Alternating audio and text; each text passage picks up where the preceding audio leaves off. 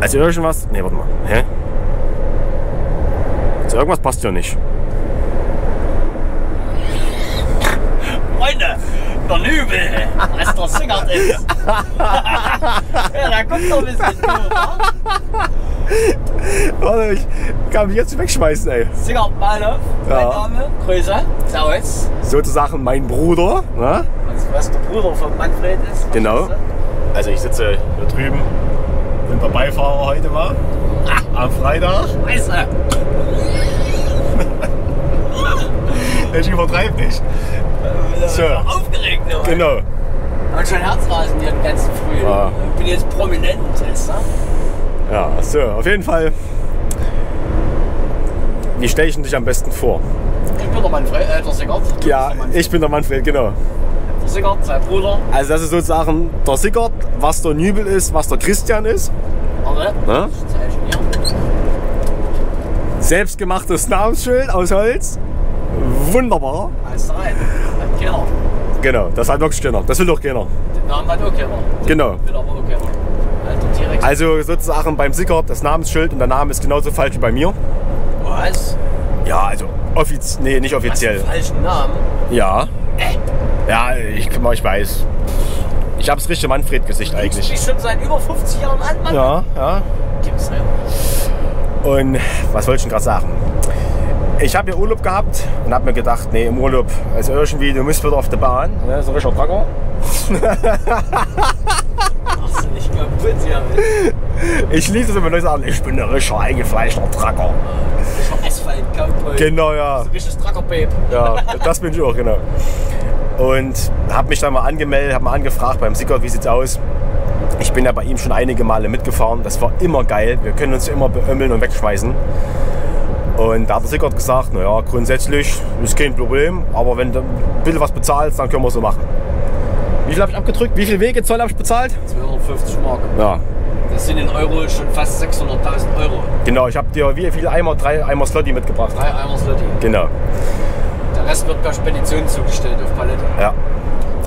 Und eigentlich wäre ich ja gestern am Donnerstag schon mitgefahren. Aber da meinte Sigurd, nein, halt, ich habe was viel Besseres für dich. Wir fahren nicht meine normale Strecke, weil er, er ist ja bloß Nahverkehrsfahrer. Ja. Tankzug Nahverkehrspisser. Genau, Wisst der Tankzug- weißt du? Und ja, da hat er seine Stamm, Stammroute und am Ende, nee, nee, du, das, das machen wir nicht. Ich habe was Besonderes für dich und deswegen ballern wir heute hoch nach Bremen. Und von Bremen geht es dann nach Hamburg und von Hamburg wieder zurück nach Salzgitter. Das ist soweit erstmal der grobe Ablauf. Und was sich dann so ergibt, wie lange es dauert und was abgeht, das werden wir dann sehen, oder? Gucken wir mal. Plan ist gut, die Ausführung wird mangelhaft und dann Ja. machen wir da aus dem Ganzen das Beste draus. Na, das erste haben wir ja schon abgeliefert, wir waren ja schon in Dolbergen, ne, haben wir Brot gebracht. Ja, zwei Stück. Genau, zwei Stück Brot. Äh, Tobi, falls du das siehst, also ich weiß, dass du siehst, weil ich gesagt habe, äh, das war nur ein minimaler Umweg und wir haben zeitlich sind wir immer noch eine Viertelstunde vor dem Plan. Ne? Also tut mir leid, Habe ich jetzt irgendwas verraten, was ich nicht hätte sagen sollen? Äh, das, er ist ja da nicht ganz so böse mit mir, aber äh, das Nee, aber- nicht anders. Es war bestellt. Aber Tobi, das stimmt. Wir haben vorhin sogar noch äh, extra die Route so gewählt, dass wir wenig bremsen müssen, dass wir gleich Schwung haben. Stimmt wirklich. Also wir sind wirklich fantastisch gefahren. Du bleibst da, Kollege. Ich weiß, dass der langsamer ist. Du bleibst da. Siehst du, Amazon-Trailer, polnischer Fahrer davor Ja. oder auch schon Litauischer, die fahren nämlich nicht schneller als 82. Genau. Weil er ein Depp ist, hat er vergessen zu blinken, also fährt er schön hinten mit. Ja, ist richtig so. Genau, und der Nübel, also was der Sickert ist, der kann ja mit seinem schönen MAN auch 89 fahren, was ich ja nicht kann. Ach, Tobi, ne? Ich fahre immer nur schön Genau. 85. Der fährt knall 80. Das ist wirklich, also muss ich sagen, der hält immer an die Geschwindigkeit, auch innerorts. Und deswegen sind solche Manöver hier möglich. Das kann ich leider nicht so machen. Ja, naja, aber ich habe schon vorhin schon gesagt, nicht so schnell wie du. 500 PS, weißt Na ja. du, mit 80 über die Autobahn. Naja, für die 5 Tonnen Pakete am Berg, die brauchst du halt. Ne? Naja, nützt nix. Ist ja so. Und äh, die Folge hier, die wird richtig geil. Das will ich jetzt schon. Wir haben ja einen Spaß. Das wird klasse. Haben So viel- auch schon gestritten, weil er hat gesagt, MAN ist scheiße. Habe ich gar nicht. MAN ist ja praktisch Scania und Scania ist ja praktisch MAN. Das ist ja alles derselbe Konzern. Ja, Moment, Moment. Der hier war noch nicht Scania. Ich habe losgetrieben von Scania. Ja, Aber dein, dein mal, zum Beispiel das, zum Beispiel das Radio. Ja, ja, ja, was wird öfter. zum Beispiel das Radio hier habe ich auch im Scania, also nicht von der Art her, ähm, also vom, von der Aufmachung her, aber es ist dieselbe Technik drin. Nicht, dass ihr denkt, hier steht Rave Mix, aber das ist nicht so meine dauerhafte Musikkrams. Ne? Der hört nur Helene Fischer und so ein Zeug. Nee, aber hier kommt viel Old Country. Ne? genau, das haben wir gestern schon in der Werkstatt gehört. Nee, aber hier das, ähm, das Radio ist halt von der Technik her genau dasselbe, bloß dass das, Das hier halt rot ist. machen können. Kurze Home Story noch. Ne? Scheiße, ja, Mann. Naja, Naja, gut. nächstes Mal. Die Ohrenschimme müssen wir nicht sein. Jedenfalls ist es halt, jetzt muss ich wirklich mal fertig werden. Äh, hier ist es halt rot, das Overlay, und bei mir ist es halt grün im Scania. Also das ist alles praktisch dasselbe, auch weil es halt auch VW ist hier, auch die, ne, die ganzen Beschriftungen und so, das sind alles dieselben Symbole.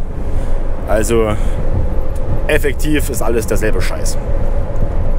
Aber natürlich ist es schön, Sagt er immer, ist Scheiß. alles derselbe Scheiß. Ich habe ich hab ja auch Scania mit reingezogen, Mensch. Das ist ja auch grundsätzlich Mist. Außer vor Ort, ne? Aus. Ja, Augustin, grüß dich, alte Maschine. ja. Oh, das musst du dann abpiepen, ne?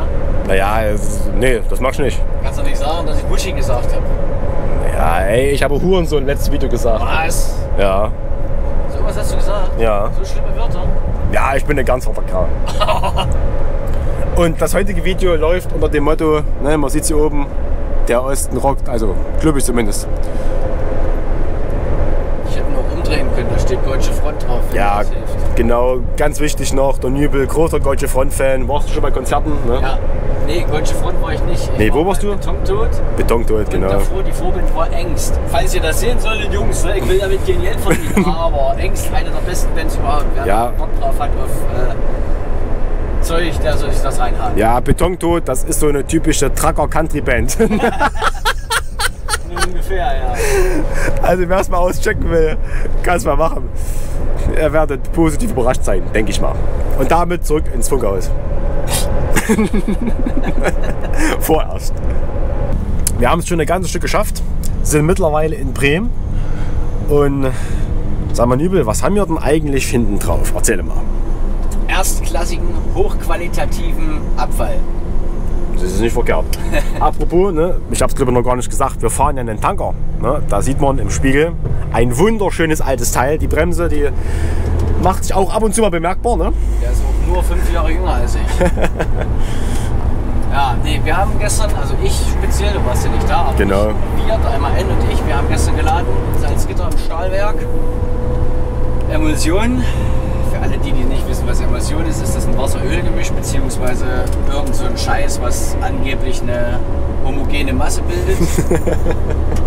so, das ist also in dem Fall ist das Schmieröl von, von den ihren Keul-Dreh-Dings, was weiß ich, Maschinen und äh, ja, das fahren wir jetzt hier halt zum Entsorgen. Hier wird der ganze Scheiß dann wieder aufgespalten in, in Öl und Wasser. Da drüben steht Norbert.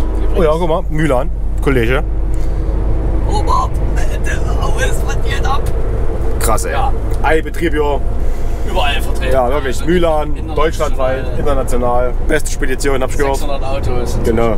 Geht los. Minus äh, 590. nee, halt 580. Irgendwie so, ich Ungefähr. habe mich gefragt, ich weiß jetzt gar nicht, wie viele wir haben, kann ich jetzt gar nicht sagen, ich glaube 18, ich weiß nicht genau.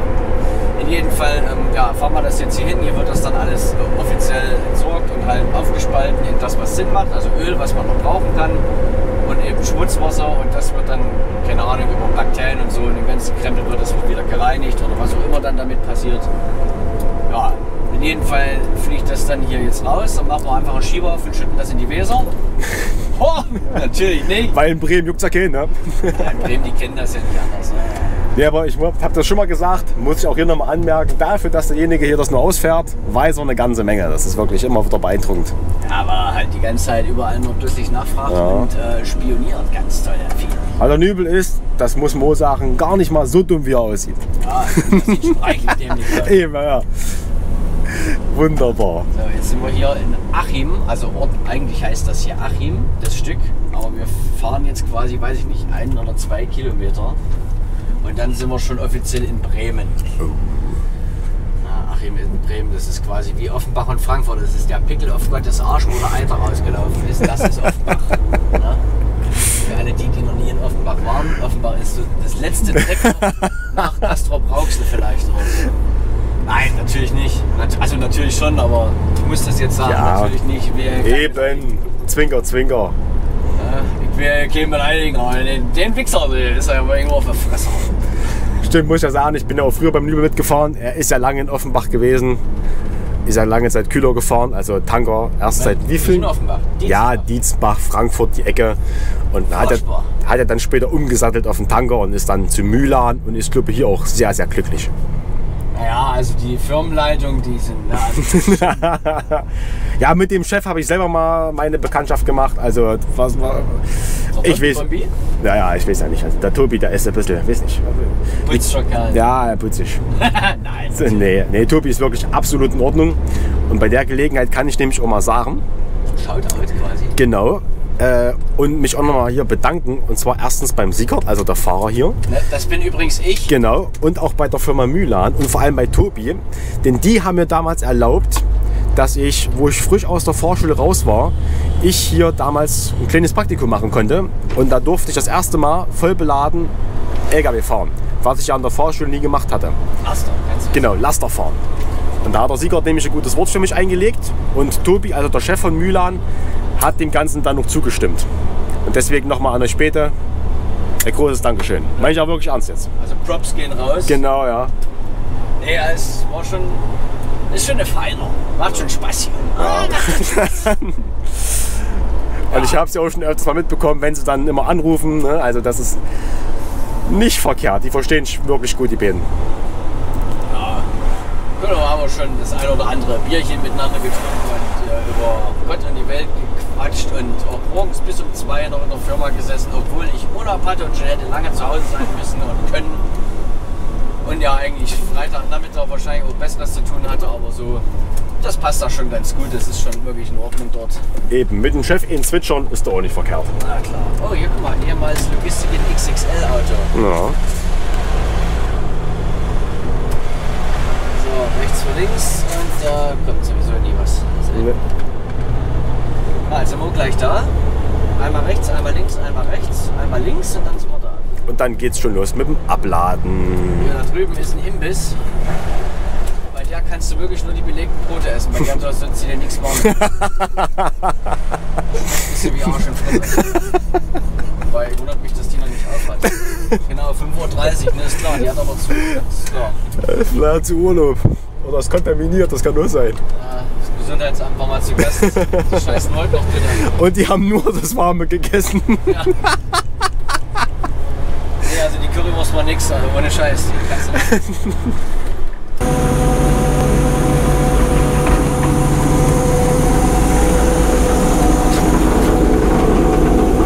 Lecker, hä? Einmal ein freier Batz. Das ist richtiger Batz. Nimm mal eine ordentliche Geruchsprobe. Guck mal da hinten, was der für Fäden zieht. Vielleicht kannst du es sehen. Siehst du das? Ich hoff's mal. Da hinten die grauen Fäden, die da zieht, ist ja abartig. Hier, von hier kannst du es sehen. Guck mal hier. Da unten die Spinnweben.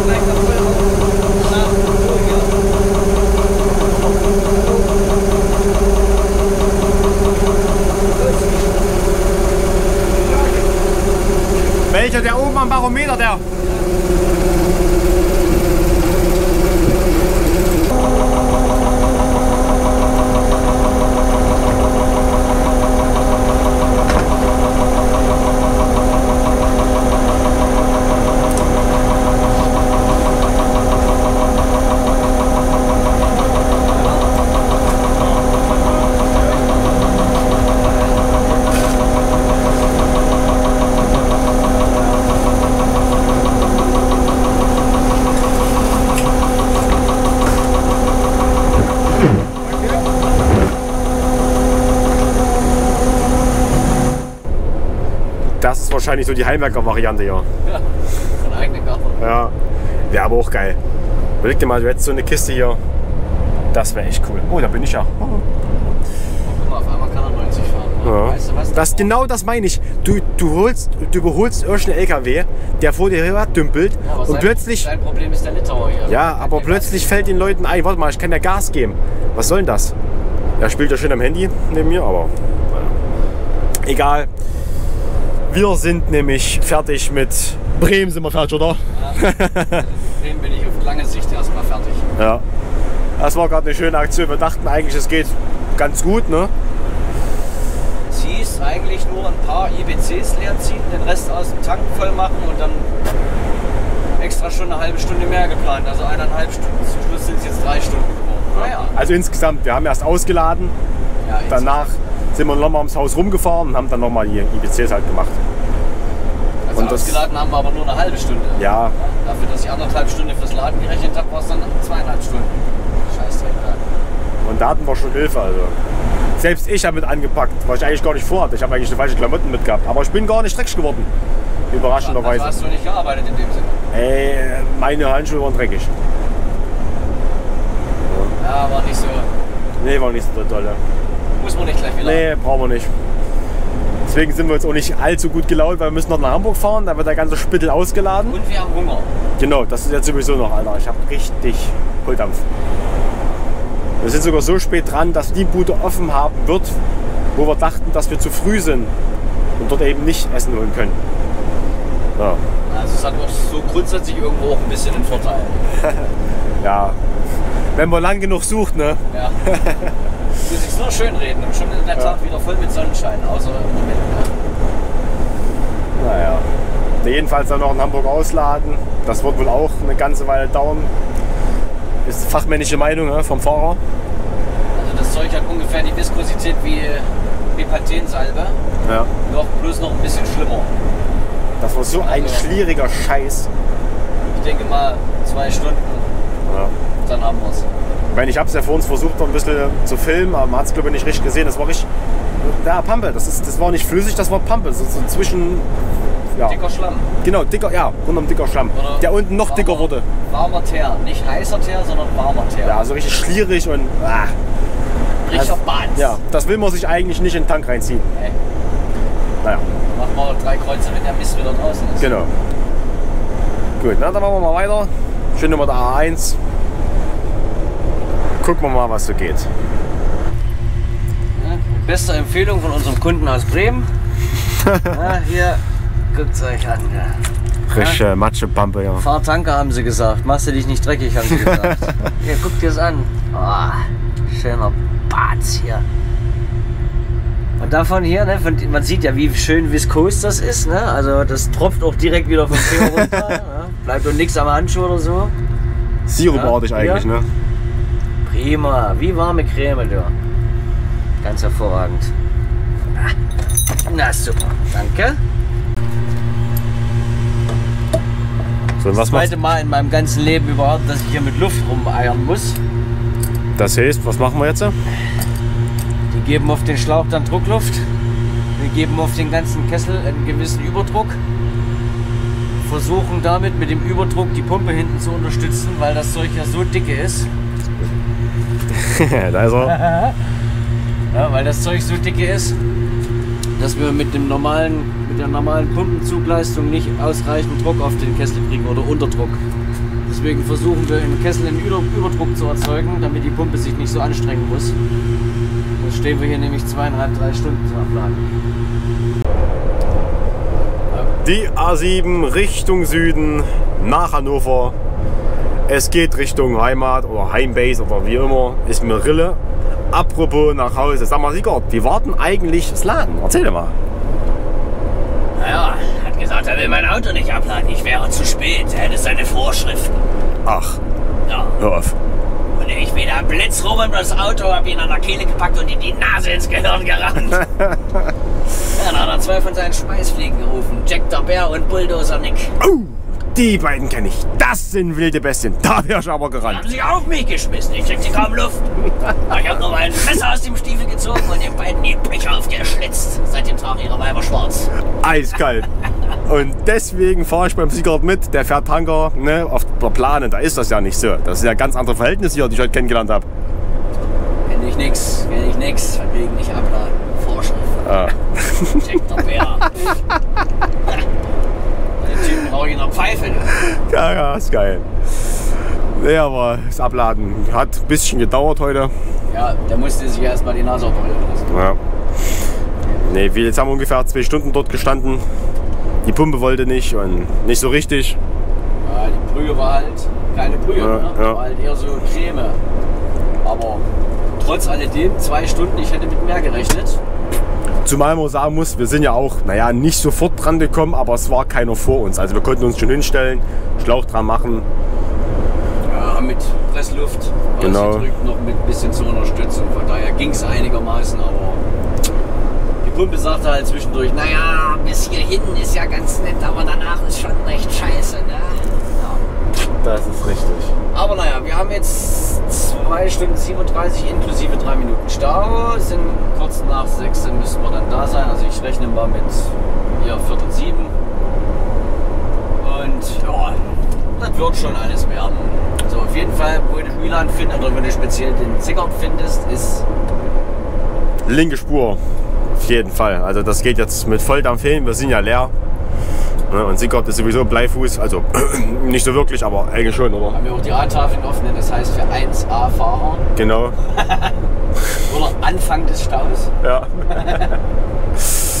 oh, schön. Ja, und wenn wir dann in Salzgitter sind, wird der LKW noch abgestellt. Ja, und dann ist der Tag dann endlich mal zu Ende. Wir haben ja früh genug angefangen. Ne? Ja, 13 Stunden dann, ne? Eben, das ist schon ein bisschen was. Was ist das denn für eine Schleuder? Ist das der Iveco oder was? Sieht das wie Ford oder was ist denn? Hä? Jetzt muss ich selber mal kurz gucken. Was hat denn der für ein Heck? Sagen, guck dir mal das Heck an. Das sieht ja aus, Das ist ein Alter. schwuler Alter, dem kannst du einen Portetten verpassen. Nee, das ist der Iveco. Ach, hör auf. Was ist das denn? Der hat den Zusatztank hinten dran. Äh. Schmuck, also, bah. Für den Teufel ist der hässlich. Naja, wer sowas fährt, der macht's auch mit Minderjährigen. Dein. Bah. Aber gut, ist ein Fakt, deswegen bleibt es im Video. Hier da drüben kommt die Dings für Trucker Babes. ja, ja, äh, Tweety oder wie da. Cargo. Ist die das? Ich weiß es nicht. Ich habe keine Ahnung. Ich glaub, Nee. Ich weiß doch nicht. Ach, die, haben, die haben doch alle, ich sehe die öfters mal von Cargo hier oben im Norden, die haben alle verschiedene Sachen draufstehen. Ähm, Arschlochkind, Kackbratze. Nicht. Nein, war ein Spaß, das sind schon ganz gute Die, die haben wenigstens schöne Autos. Für die spricht nur der Neide. Oh, die haben einen übelst geilen MAN, der sieht richtig geil aus. Den habe ich noch nicht gesehen. Ich kenne bloß Volvo und äh, Scania von dem. Ich- Scania. Scania. Scania. Das ist Gassenjahr. Genau, das war noch. Also wir hatten Oh, nur heute, vor 8 Uhr, ja, nur dass du Bescheid weißt. Haust du. Wir hatten auf jeden Schönen Fall. Gruß in diesem Sinne mal nach Good warte. Old Norge. Ja, Kiste aus der Rennen. Wir hatten heute auf jeden Fall eine ganze Menge Spaß. Das werden wir wahrscheinlich noch haben auf der Fahrt. Ist noch was da für die Rückfahrt. Ja, genau, wer will, wer will, greift zu. hä? 2,50 Mark pro Stück. Ja, das ist Mist. Ja. Und ähm, wenn nicht noch irgendwas dazwischen kommen sollte, können wir uns eigentlich schon verabschieden, weil wir fahren jetzt bloß noch. Ich sagte dann wenigstens noch ins Salzgitter. Du musst doch, du musst doch gucken, wie ich da schön über den linken Spiegel da über die ganze Bundesstraße rückwärts da bei Bölleck reinkrache. Wie ein Ja, Dummer. dann, dann tut's mir leid dann. Ich war zu voreilig. Kommt immer ein bisschen früher. Oh, Junge, ja, dann. Du hast ja noch nicht mal deine Mütze auf. Ja, ne, die habe ich, die hab ich vorhin so ein Video drin gehabt. Da habe ich vorhin schön rausgefilmt, da wurde die wunderbar präsentiert. Kannst du die Kamera hier vorne dran klippen? Ja, ich habe ja normal. Ich hab Nee, das nicht so hier für oben drauf. Also, ja, das fällt aber da fällt's ab, weil die ein bisschen schwer ist. Aber ich habe so ein Clipband hier, das Ganze drüber hängen. Für so Ego-Aufnahmen. Für so. Naja. Ja, ist schon recht. Machen wir es nicht. Genau, das kommt so mitfahren. Als Beifahrer so mit, mit gewackelt bin. Nee, dann, dann bis später. Ich darf noch nicht beenden, tut mir leid. Ne? Aus äh, Rennen. Wir sehen uns in Salzgitter. Schöne Grüße an Chris Maximus. Oh, sag mal, Siegert, ey, deine Scheibe ist aber dreckig, ja? Ja, ich brauche nur Kilometer zu fahren, schon habe ich Käfersuppe vor der Nase. Meine Karre muss ja mal aus dem Ei gepellt aussehen. Das ist das Einzige, was ich habe.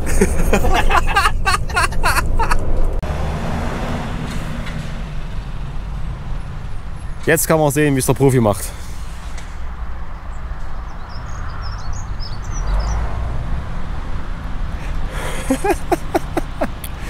Geil. Arm und Rübe schön aus dem Fenster gehalten, so muss es sein. Ja, nee, das kann ich nicht bieten.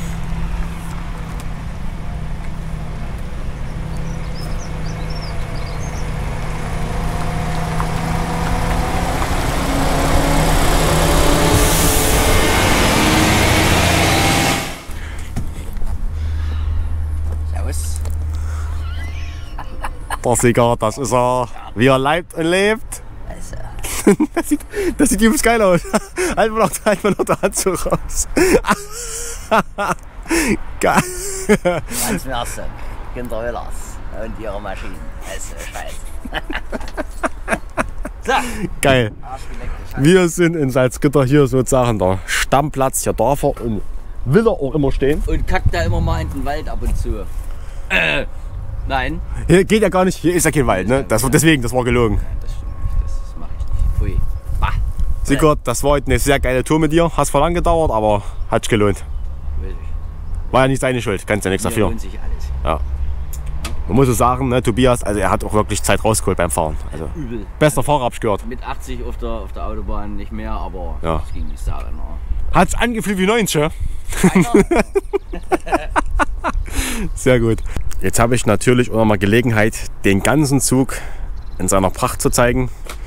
Da ist der Fahrer hier. Gewaschen, ne? Ja, Mensch, das ist doch nicht so schlimm. Ne, Vollausstattung haben sie hier. Sogar richtige, richtige Chromfelgen. Richtige Alcoas. Das ist das Gerät. Wunderbar. Ja, und da oben war ich dann auch schon.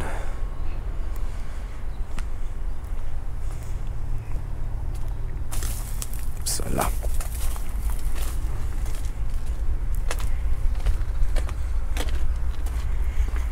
Ist schon ein feines Teil, ja.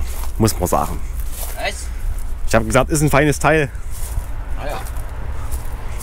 Macchiato-Trailer sind die allerbesten sowieso. Natürlich.